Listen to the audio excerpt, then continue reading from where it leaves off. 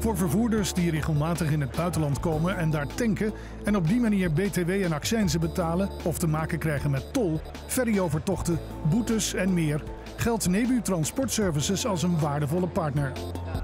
Stel, je rijdt met je vrachtwagen naar België en je tankt daar als Nederlandse firma, dan uh, zit er Belgische BTW op die uh, tankfactuur. En die halen we terug bij de Belgische Belastingdienst. Daarnaast is er accijnsbedrag betaald. En een heel groot deel van die accijns kunnen we ook weer terugvoeren.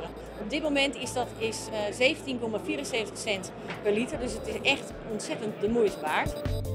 Moeder Marja Broers begon het bedrijf 22 jaar geleden en maakt nog steeds deel uit van het team waar dochter Mirte en Saskia Jonker leiding aan geven. Een kostenbesparend bedrijf voor zowel kleine als grote vervoerders.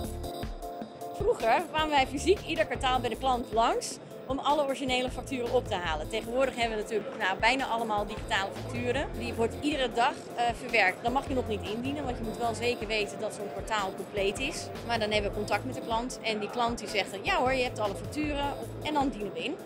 Maar dan hebben we eigenlijk alles al verwerkt. Hè. Dus we hoeven alleen maar op de knop te, te drukken en dan kan het zo op naar het land van, uh, van refund. Het mooiste is dat de klant het geld direct van de Belastingdienst krijgt. Uh, dat is uniek in onze branche. Uh, wij zijn daar de enige in. Wij krijgen een beschikking van de, van de Belastingdienst en aan de hand daarvan maken we onze factuur. Waarbij de hoogte van de tarieven samenhangt met de grootte van het bedrijf en ruimschoots opweegt tegen de opbrengsten.